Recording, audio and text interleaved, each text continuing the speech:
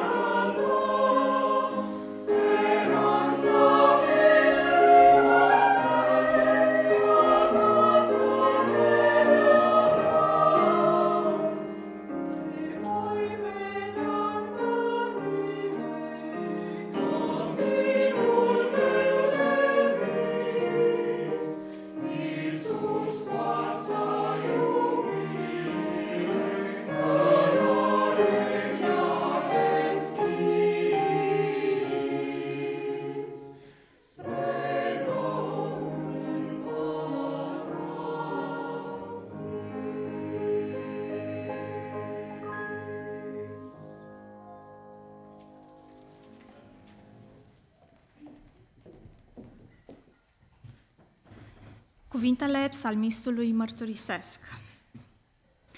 Văd că tot ce este desăvârșit are margini. Poruncile tale însă sunt fără margini. Această veșnicie a legii lui Dumnezeu, prin ascultare, s-ar fi transformat într-o realitate pe care omul n-a avut niciodată ocazia să o experimenteze și care reprezintă o problemă chiar și pentru imaginația noastră, pentru că îndurarea lui Dumnezeu până la al miilea neam de cei ce mă iubesc și păzesc poruncile mele, ar fi adus împreună o mie de generații. Planul inițial al lui Dumnezeu era ca nu doar trei sau, în anumite excepții, patru generații să fie împreună, ci toate generațiile. Însă noi am ales să ascultăm de un glas, de un alt glas. Și iată-ne astăzi aici, câteva generații, care încercăm să formăm familia lui Dumnezeu de astăzi. Promisiunea lui Isus pentru noi este și după ce mă voi duce și vă voi pregăti un loc, mă voi întoarce și vă voi lua cu mine – ca acolo unde sunt eu să fiți și voi. Cu această promisiune a reîntâlnirii cu Dumnezeu și cu cei dragi, au adormit bunicii și părinții noștri.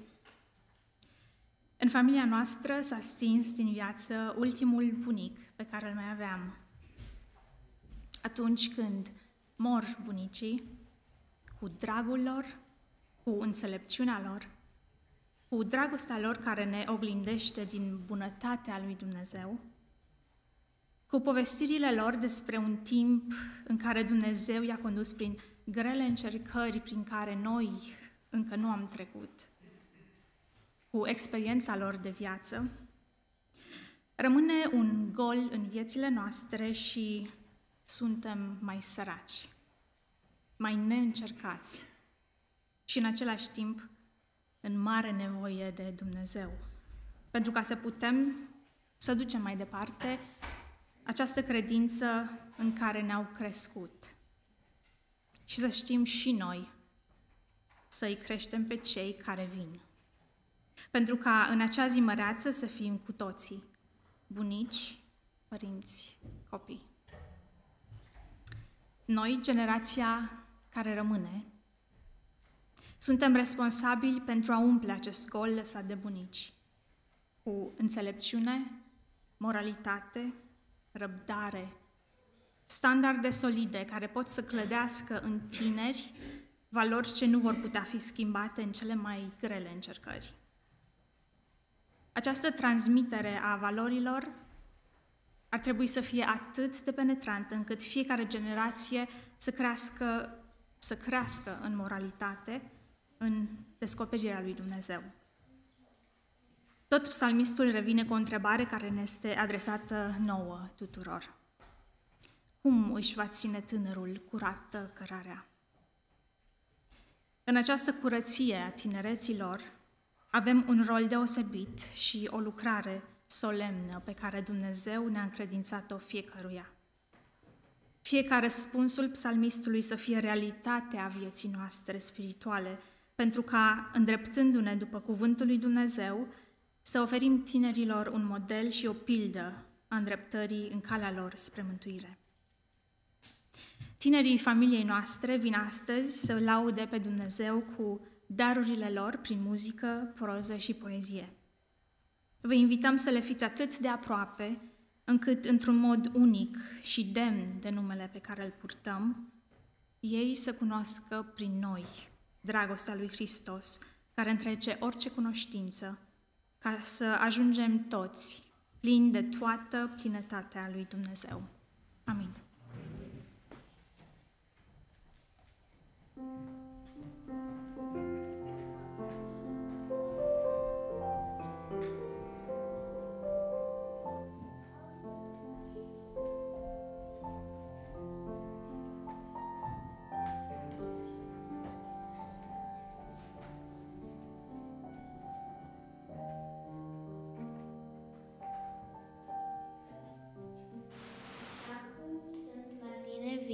La poala crucii tale, tu ești al meu scut și sprijin, și ție vreau să mă închin, cu tine vreau pe cale.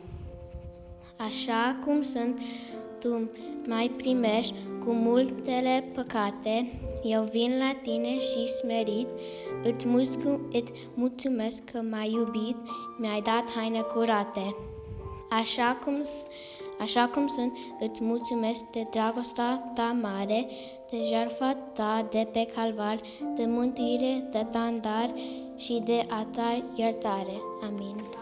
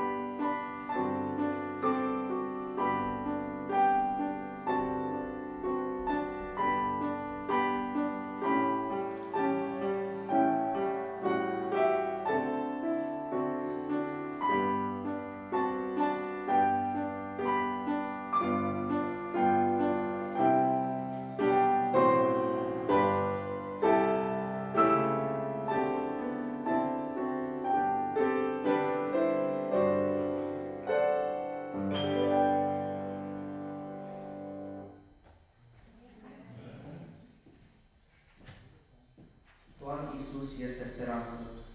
Simți că sufletul tău este pustiu, nimic din ceea ce faci nu îți aduce bucuria după care tânjești atât, atât de mult? Simți că speranța te părăsește? Prietene drag, Domnul Isus vrea să fie prietenul tău. El, care a venit din cerul și ți-a dat viața pentru mântuirea ta, vrea ca să fii fericit alături de El. El este singur care te va susține în orice greutate va veni în viața ta. Oamenii vin și pleacă, dar numai Domnul Isus îți va rămâne întotdeauna un prieten bun. Vrei tu să vii la El chiar azi? Amin.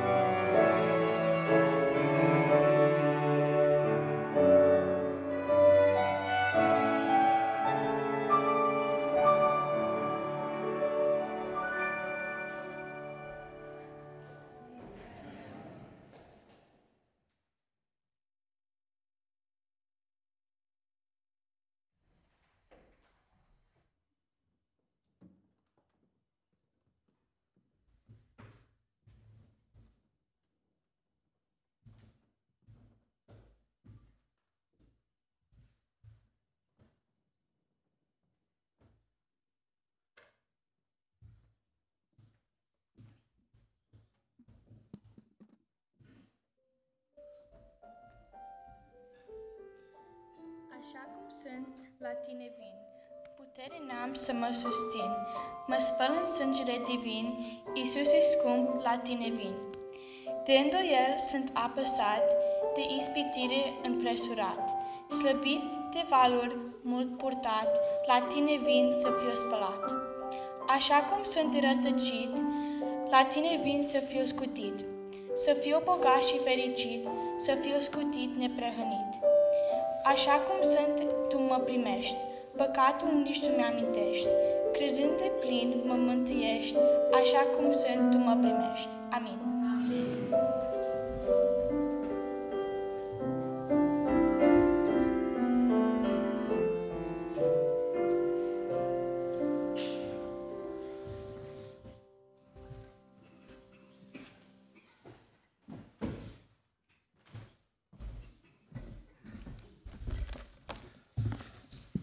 Pacea Domnului tuturor! Invit uh, aici în față pe toți tinerii, copiii. Poftiți? Aș vrea să cântăm împreună cu biserica două imnuri. Uh, poftiți, poftiți. Haideți și voi toți. Alex, Sara, Emma, AJ, Oliver. Come on.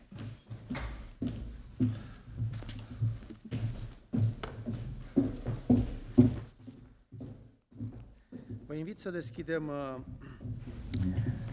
imnurile noastre la uh, imnul 178. Așa cum sunt, n-aduc nimic. Uh, vreau să intonăm strofele 1, 2, 5 și 6. Să fim atenți. Strofa 1, 2, 5 și 6 împreună.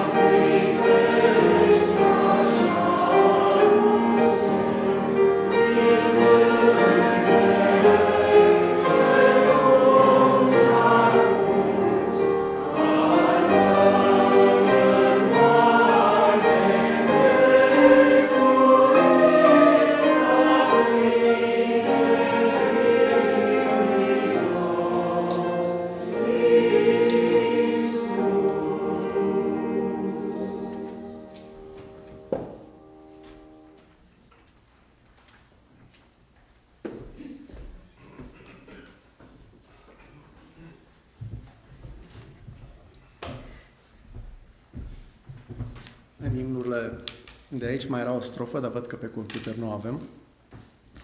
Uh, Să deschidem la 240. Uh, Este un imn pe care l-am învățat mai de curând, dacă vă aduceți aminte când a fost fratele Marius Munteanu aici și l-am învățat, este un imn foarte frumos, când pacea îți lipsește.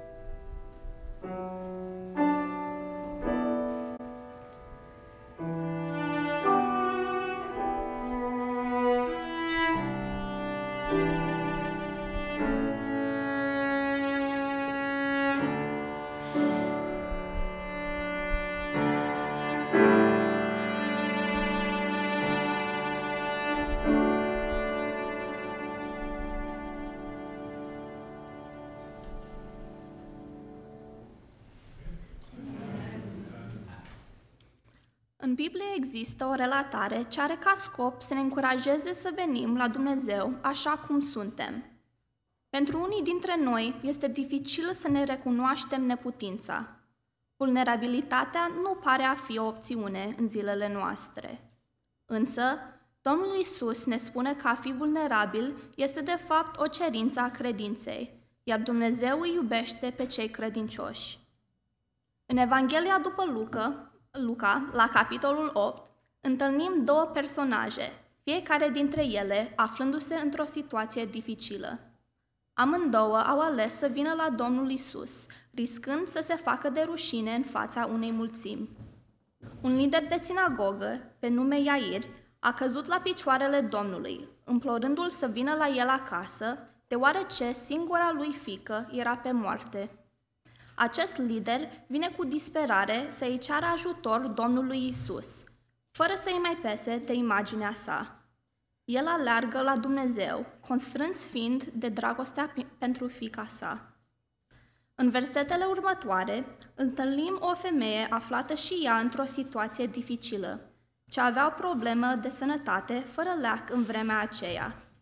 Aceasta îndrăznește să se atingă de poala hainei Domnului Isus pentru a fi vindecată. Spre deosebire de Iair, aceasta femeie nu avea o poziție socială și nici dreptul să facă acel gest, însă nevoia a determinat-o să se confrunte cu mulțimea. Domnul Isus o vindecă pe femeie și merge la casa lui Iair și îi învie acestuia fetița din morți. Fiecare dintre acești oameni a venit la Dumnezeu așa cum erau, vulnerabili și disperați. Vă puteți identifica cu vreunul dintre aceste personaje? Atunci când ne apropiem de Dumnezeu, așa cum suntem și spunem, Iată-mă, așa cum sunt, frânt, obosit, disperat, am nevoie de ajutorul Tău, atunci noi îi dovedim lui Dumnezeu că avem credință în El. Domnul Isus va răspunde întotdeauna unei inimi sincere. El va răspunde credinței noastre. Amin.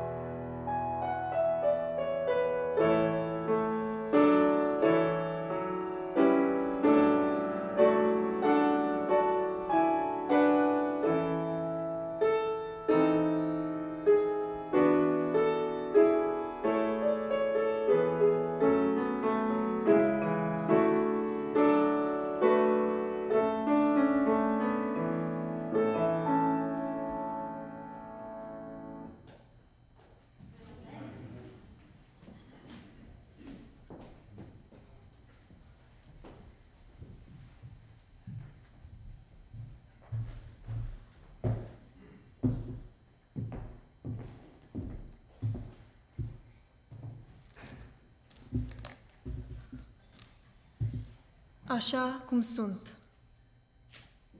Așa cum sunt, la crucea ta eu vin plecat, smerit. Îți mulțumesc, Iisuse drag, căci tu mult m-ai iubit. Pe lemn, pus între doi tălhari, ai fost crucificat. Prin jertfa ta, o Doamnul meu, mântuire mi-ai dat. Așa cum sunt, îngenunchez la crucea ta, Iisus. Îți mulțumesc, o Dumnezeul meu, salvare mi-ai adus. Povoara ce mă apăsa, mi-ai luat-o bucuros. Mi-ai spus să cred în jertfa ta, iubitul meu, Hristos. Prin sângele tău, care a curs pe cruce la calvar, o, Doamne, Tu m-ai curățit. Îți mulțumesc, ce har! Ți-ai dat viața, Domnul meu, și m-ai răscumpărat. Ai șters păcatul meu, cel greu, și toate le-ai uitat. Tot ce am făcut, rău și murdar, ai șters prin jertfa ta. Viață am primit în dar pe dealul Golgota. Te recunosc, Iisuse drag, ca Domn și Dumnezeu. Îți mulțumesc, m-ai mântuit și ești salvatorul meu. Amin. Amin.